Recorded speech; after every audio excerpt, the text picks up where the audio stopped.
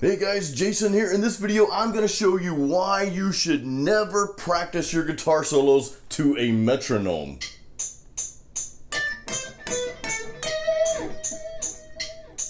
I'm going to show you what to do instead.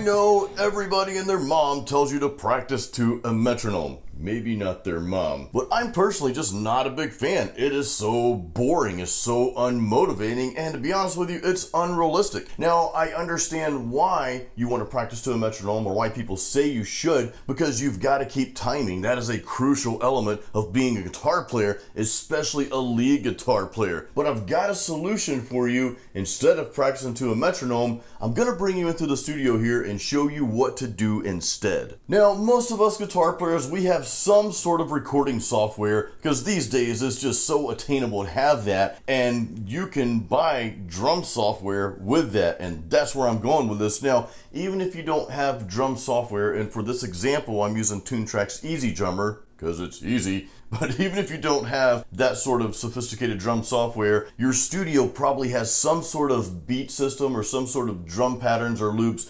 hidden deep within it. Just do a search, and if you can't find it, then just search the forums of your studio software. I'm sure someone can tell you where they're at. So let's come on closer. We're gonna dive into the studio, and I'm gonna show you exactly what to do. Alright guys, so I am in PreSonus Studio One Pro. This is the recording software that I use, and I'm gonna pull up EZ-Drummer as Toontrack, Toontrack's EZ-Drummer. Now, I'm not doing a tutorial on EZ Drummer here. I think I have an old one, an old video on that somewhere else.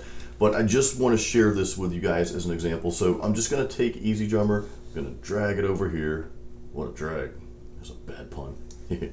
so, all right. So the first thing I do, now again, I'm not going through a tutorial. I just happen to have the Metal Machine pack, which is really cool. And this is just something I use for songwriting, guys. I mean, this this comes in handy for a lot of different reasons. So I'm just going to go to my browser here. I'm to find, ooh, I've got the death metal pack. It's pretty cool. Uh, but just for the sake of simplicity, I'm just to find my metal machine pack. I'm to go to the fast because as you, as you can see down towards the bottom here, and again, this may be in a different place if you're using a different um, recording software, but I've got my BPM, my tempo set at 157. That's just kind of a comfortable place to start practice. So what I do is just find a really cool drum track to jam to. So let's just try one of these. That's way too slow.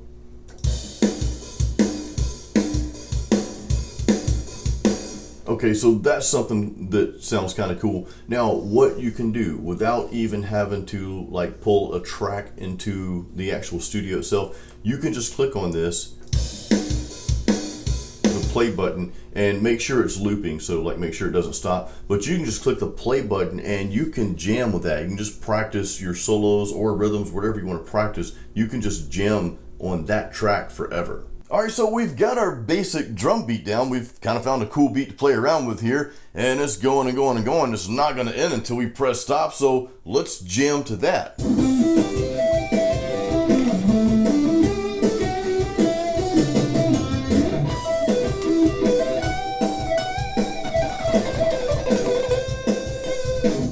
Let's go back to the click track. Here's what that sounds like again.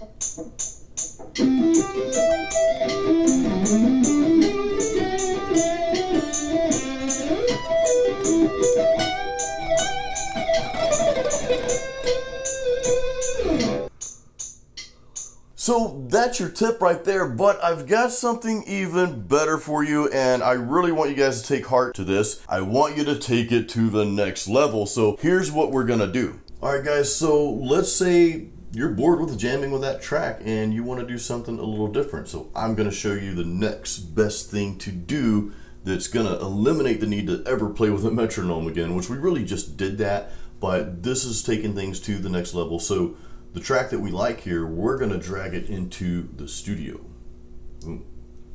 Okay, I'm gonna go ahead and close this out. I mean, you can add different drum tracks here or whatever, but like I said, this is not like an EZ Drummer or drum software tutorial. I'm just showing you guys just a cool way to practice uh, that's gonna give you like 110% or like 110,000% more motivation to practice your guitar. So I'm just gonna duplicate this track here. So this way we have like, you know, enough drum drum trackage, trackage, it's a new name. So it's gonna sound like this when I start to play.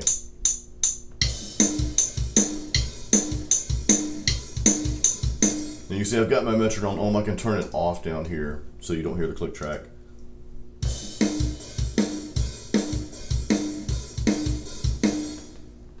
I leave it on though, and that's the click track. That's what you would be playing to if you didn't have these cool drums in the background, which that would be very, very boring. Uh, but I just keep that on to give me a count off so I know when the drum starts. So one, two, three, four.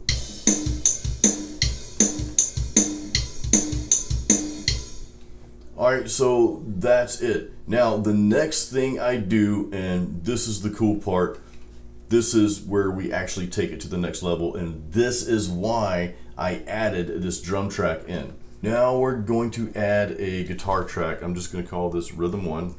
I'm using plugins guys. I'm not like mic'd up to an amp or anything here. I'm using the Positive Grids uh, Bias FX.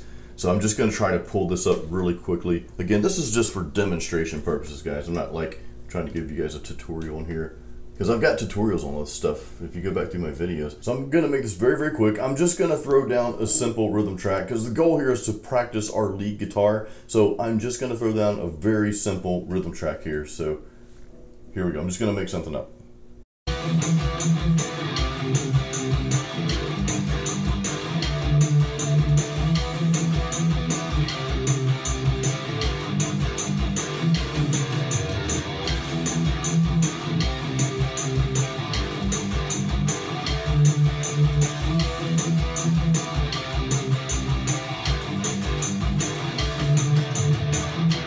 Oh, and I'm to add a bass track as well.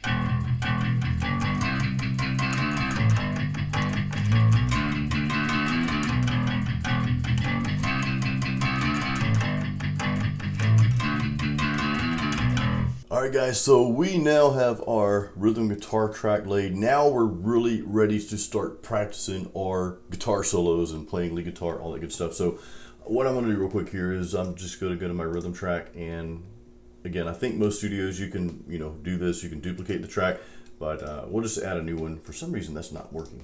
Not sure why. So let's just add a new track and we'll call this one lead. Click OK. Now I want to use the same plugin, the Positive Grids uh, Bias FX plugin, because this one has all the effects and I do like to play with a little delay on my leads. So what I'll do is just kind of click my delay on here just a little. Let's crank the gain up just a hair on this here for leads. Okay, that's it. So now we have our track to record our guitar solos. And again, we can just make stuff up. You know, you got this track here that we just recorded. You got the drums. Now, I'm to show you something really, really cool before we get into this, okay? So we recorded guitar. We've got our drums. I'm just going to bring this here so that it's in line with this three. So watch this cool trick.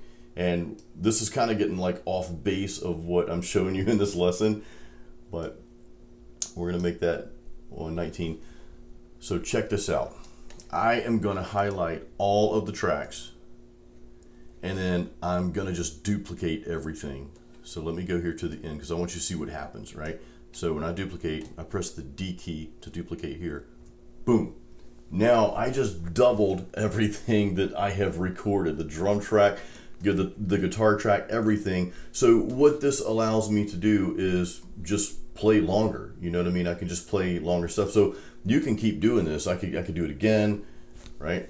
Now we've got even longer. Let's quadruple it because quadruple is always better. I don't know. I just made that up. Sometimes you can't have too much of a good thing. Maybe not. Anyway, so my point is you can extend this out for as long as you want. Like if you don't feel like recording the entire you know thing here for like five minutes just to practice your leads, you can just throw down a very quick track and just keep duplicating it so that you've got longer playtime. Now, not only do we have a drum track to play along with to practice our guitar solos to, we've actually got a rhythm guitar track and drums. That's going to be extremely more motivating for one, and more importantly, you've got a progression to practice to. So now you can't just play all over the place or play whatever you want. You've got to stay within those parameters of the chord progression that you just created. So this is going to help you become a much better guitar player much faster.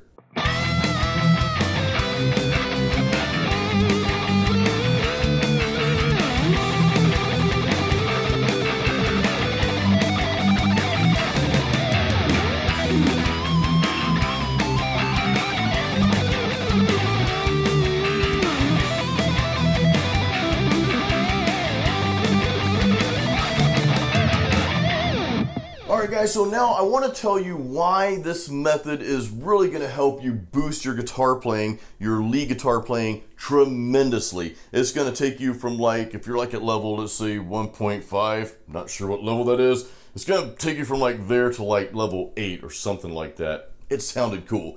But seriously, guys, I prefer you just not to practice to a metronome. Again, I'm not saying don't work on your timing, but instead practice to a drum track. And if you want to take it to the next level and even get better, practice to a drum track and a rhythm guitar track as well. And back in the day when I first started playing, you know, lead guitar was like my forte. Look, I sucked at most other things in life, so I had to be good at something, and this just happened to be it. But the reason why I went from like level 1.5 to like level 8 in a short amount of time, way back then when I started playing, is because I often played along with other songs. See, back in those days, we had these ancient devices called cassette tapes. They looked a little something like this. Hey, that says experimental recording. Man, this must be old. I just don't have a cassette player anymore. But I just threw in one of my favorite cassette tapes, and back in the days, that was like, you know, Metallica, Megadeth. I'd throw in some hair bands too, like Warrant and Whitesnake. I'd listen to Dokken and Queensryche. But I would just put in a cassette tape and I would play lead along with those songs. Now, I didn't necessarily learn the songs. I mean, I had other times where I try to learn songs and all that good stuff. That was, you know, part of part of me growing as a guitar player.